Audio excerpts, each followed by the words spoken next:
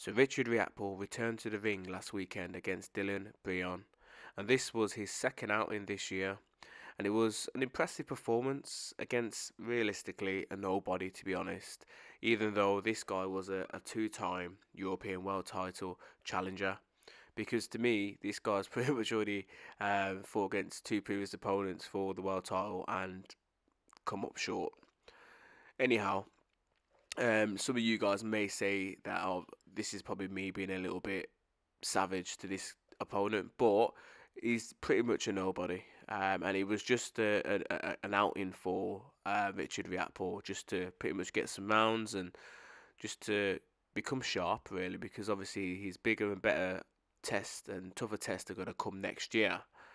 Um, the stoppage itself um, was a was a, was an excellent um, KO, uh, and I feel as if the stoppage was about right, uh, just shy to the the stoppage. Um, Richard Riakporhe um, put him down.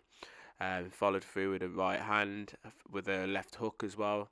Uh, the right hand pretty much dropped his opponent instantly, and then the left hook was a little bit of a, a an illegal shot, but um, the referee didn't jump in in time, and so pretty much he landed it.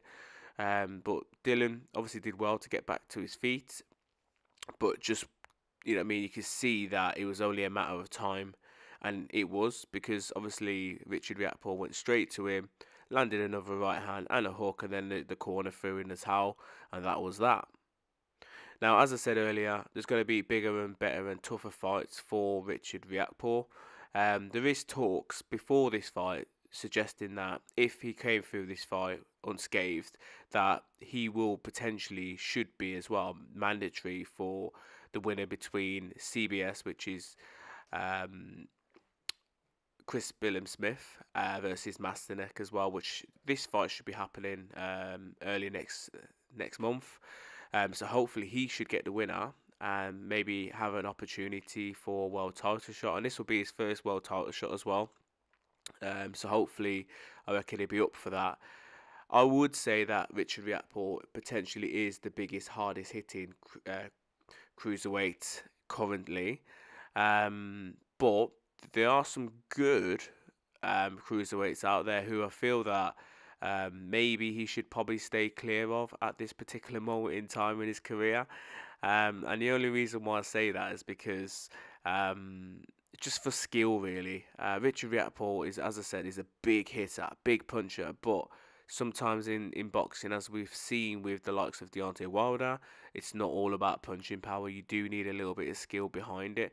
And he is a good boxer, but a bit of a lethargic and slow boxer. First cup, that, that fight that he had pretty much only lasted a round and a bit. Um, so you couldn't really see much, but he was a slow start, and someone, you know, I mean, against someone like, let's say, a Jai Opetaia or a Lawrence Okolie, these guys would potentially, maybe not Lawrence Okolie, but Jai Opetaia would lead a quicker pace from the get go, um, and I feel that someone like Jai Opetaia, his movement would cause um, Richard Riakporhe a lot of troubles. Um, so yeah, as I said, hopefully his next fight will be against Chris Billiam-Smith. Um, but if you can't get the likes of Chris Billiam-Smith into the ring, then what about the WBC and the WBA challenger? Um, sorry, world titles champions. Could he potentially Ben Shalom maybe make a deal with one of these two champions so that Richard Riakporhe could have an opportunity at a world title? And if he can't get a world title shot, then there's some good British um, domestic like dust ups for him there. Um, again, Jordan Thompson, Ellis Zorro, Isaac Chamberlain. That'd be another good fight.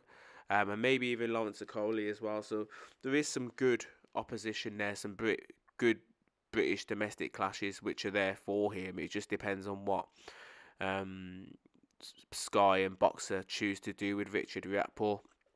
But yeah, let me know your thoughts. Um, routine performance from Richard Riakporhe. Good stoppage. Added it to his highlight reels.